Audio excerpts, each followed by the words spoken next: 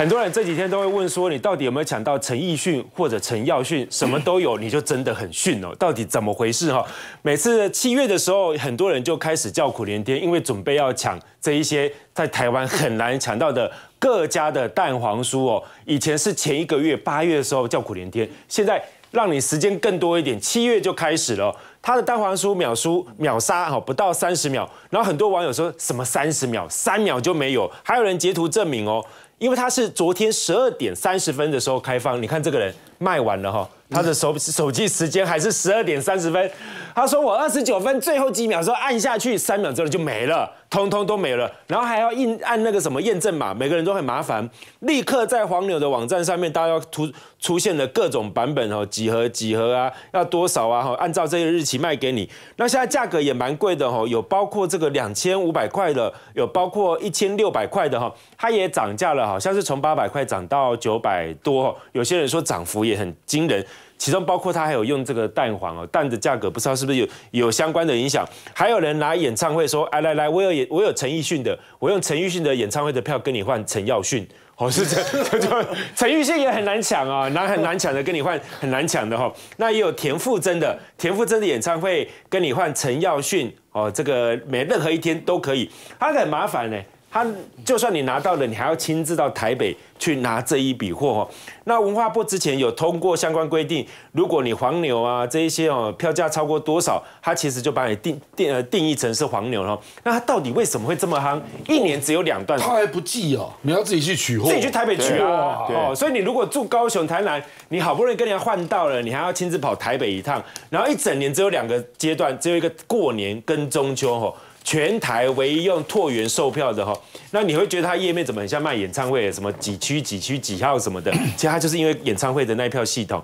那它为什么那么厉害？因为它有两大法宝，它是日本平遥王的这个烤箱哦。你现在看到有好几层哦，一层一百多万哦，就是你现在看到的这一层就要造价一百万，它总共有六层。一台的重量有三吨，那另外它包括的这个呃包线机啊，用的跟鼎泰丰是同一个等级，一台机器抵过十个人人力哈，叫做日本雷恩包线机，每分钟可以包一百颗的这个糕饼或丸类，可以保持他们的相关的这个误差正负零点五公克哈。然后之前国师唐启阳在他打输，也就是一个月前打输的时候，有专访他，专访的第一个动作就是跟他交换耐。好啊，大家开始想说，可能换这个不用去排队啊，可能直接跟他买比较快。然后唐启阳自己都讲说，有一个非常有利的有利人士哦，送了他一盒陈耀迅的蛋黄酥，让他充分的觉得代表这个对方非常的重视我。啊，你国民大会甲介绍刚刚那也无杀气啊，好你。哎，要问一下另外一个节目的主持人另外一个节目有专访过他，斌哥怎么看？我我觉得这个东西，台湾现在文化就变成这个样子，就是东西不怕贵，你就算一直涨价，一样会有人买，只要只要够好，对，只要大家觉得你好，就我觉得再贵都有人敢买，那就算排队抢破头都有人敢抢。但是我觉得这个显现出来第一个问题就是，我们到底要怎么样去杜绝这种网络黄牛的问题啊？每一次订票都被这些人抢走。这到底要怎么去阻绝这些东西？专业的写工程、写城市的人是。那我们有一位天才，哎，天才兄，你现在不是速发部部长，你你怎么想不出来帮我们解决这个问题？哎，不要他饥饿行销，他做的很少啊，一下就卖光。是因为他能力有限。不是，问题是不到三十秒就卖光，这个肯定是有问题的啦。这他他这个摆明就是被人家写程式，这个不是用人手操作能够解决，这这一定是用用其他的方式啊。所以，我我觉得这个东西拜托速发部发挥一点功能好不好？去查一下好不好？不然我们在台湾订所有的东西都会遇到这种问题。嗯，所以这这真的是拜托要帮我们解决一下。那文化部我我觉得挺好笑的，就 他他就讲说这个这个当然黄牛本身是不对的。嗯，那可是问题是，那文化部只管这个售票的艺文活动黄牛，那这个商业的。要不要？哎，其实他们也要管哦。对啊，那这个这个为什么归文化部管？这个这吃的也是一种文化，美食也是一种文化。不过这个如果转售哈，转售魔力不一定违法哎。啊？为什么？比如说我买到他的蛋黄酥，啊，我再抛到我的网络上说我要卖，我不想吃，我只要我加价啊。对啊，而且是我们之间批的的这个交的交易还是有人会来买啊。不，因为我也只有一两盒啊。嗯，对，所以所以我觉得这个认定恐怕要看他有没有囤积的问题。好，我们更多的话题，我们休息一下，马上回来。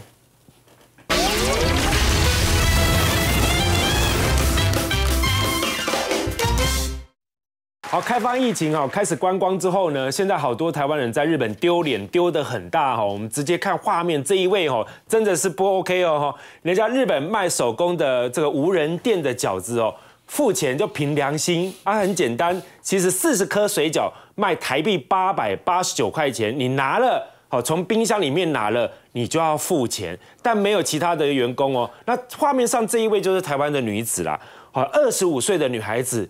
她居然自己一个人在店里面拿了这么多的水饺，总共拿了三次哦。那三次呢，金额比一次比一次少。第一次原百原本原价八百八十五九块钱哦，那第一次他付了多少？他付五十六块钱。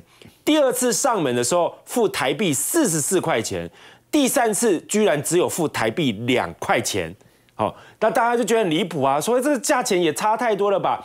因为他虽然没有人，但事后老板回去算。说今天卖十包，那应该就是十倍的八百八十九块钱啊？怎么钱少这么多？调监视器一看，啊，不得了，这个女的怎么付这么少？哎呀，真糟糕！然后报警一查，巡线就立刻逮到这一个人，居然是我们台湾的人呐！然后他被逮之后更糟糕，好，这一位台湾女子还说，我又不是没有付钱，意思就是说我只不过付的比较少一点啊，大家都觉得很丢脸啊，就被罚。是到寺庙水洗了，就随你高兴，水洗捐献。台湾确实有些商店是水洗啦，就是你香油这么高级的不可能啊。亮哥，你怎么看我们这样丢脸丢到国外去啊？